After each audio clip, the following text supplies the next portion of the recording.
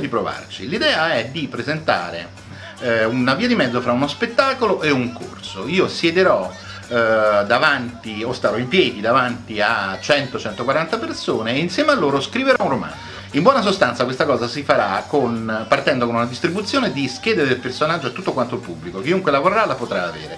La scheda del personaggio è una scheda che io uso, che usano molti sceneggiatori o scrittori per definire i particolari del personaggio. La scheda verrà riempita dal pubblico in sala e poi le schede verranno raccolte e 10 di quelle schede verranno sorteggiate. Io continuerò a spiegare come si struttura una scaletta e altri particolari di come si organizza il lavoro da professionista per la scrittura di un romanzo di genere giallo noir, fantascienza o fantasy. Ripeto, non so se si può fare, nessuno ci ha mai provato, però eh, perlomeno in Italia che io sappia, non, non seriamente.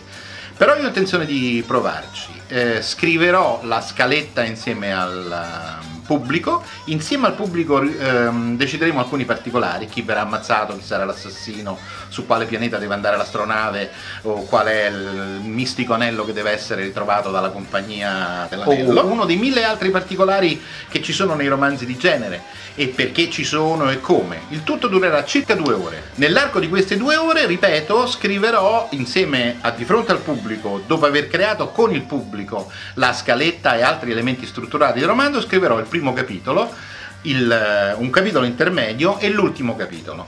Non sarà un romanzo completo, ma l'idea di completa di come nasce il romanzo, questo sì.